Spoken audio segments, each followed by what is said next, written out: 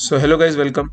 This video is about weekly updates via chart browser in a eGlobe ECDIS.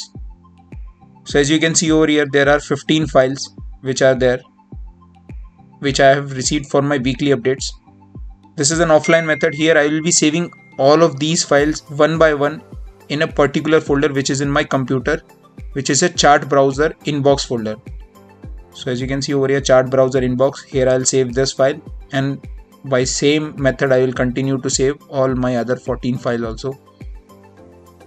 So make sure whenever you are saving these files you have to save them in a correct folder otherwise your updates won't be processed. So whenever you go on ship make sure that you are uh, applying those updates in a correct folder. So now you can see I'm uh, fast forwarding this video. I'm applying all these updates into a single folder which is chart browser inbox. So once this all of my updates are put into single folder it will take some time maybe 5 10 minutes give it some time. Then open your chart world software. Now i've opened this. There are some uh, notifications that this is expiring this is going to expire catalogs are being updated. So that's why wait for some time give it 5 10 minutes.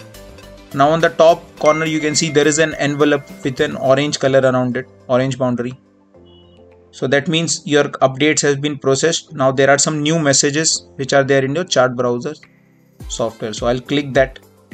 Now there are some updates like uh, weekly uh, entms are received weekly adp correction arcs corrections and other such corrections are received notice to mariners are received nav warnings are received. So all of these messages are received so i'm a little bit doing it fast forward. I'm saving all those messages because those are my chart correction my paper chart corrections are received. So all such things will be processed together and you will see them one by one save all of them one by one in a single folder. Now i'm doing it a little bit fast forward.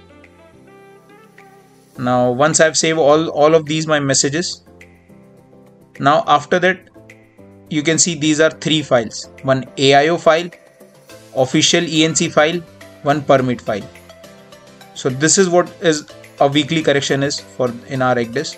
Make sure you select cumulative exchange set and click export for AIO. One by one do for uh, do this for all other things official ENCs cumulative exchange set.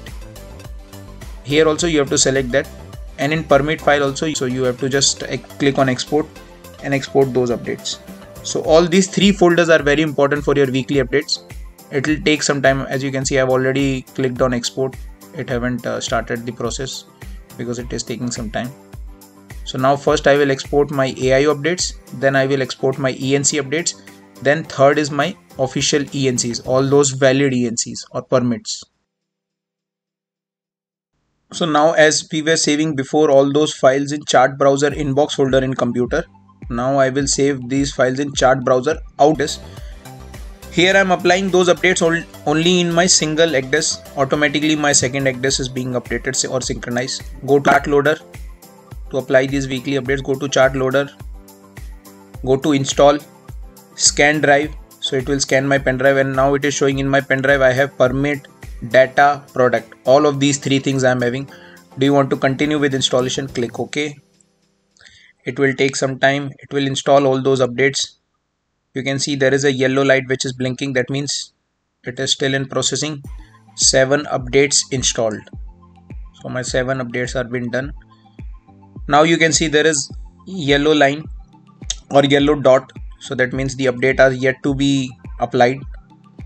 And here on right side also you can see this is yellow means updates are yet to be applied. I'll click apply.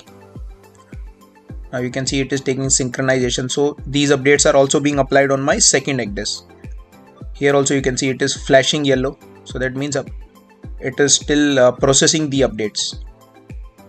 My AIO, ENC and permits all of these three things are done together here now. So it will take uh, a few minutes and then it will apply all those updates. I'll wait for some time till the time this yellow flashing is stopped. Now you can see it has shown apply change done the uh, updates are done but still you can see remote eGlobe master on the right corner it is still flashing yellow. That means it is still uh, applying the update. So wait for some time let the updates get applied. Uh, it normally take for on my chip it takes around 15 minutes 10 to 15 minutes. So I'll wait till that time. Now you can see this remote eGlobe master light is green. All lights are green so that means uh, all the updates are applied synchronized everything is okay. Now I can go to report section and I can check that my ENCs are updated up to which week. So this is my present week week 41 15th October. Today is this date 15th October 2021 so that's it. That means my all my updates are applied. All of my weekly corrections are done. So that's it. Now I'll remove my pen drive. Thank you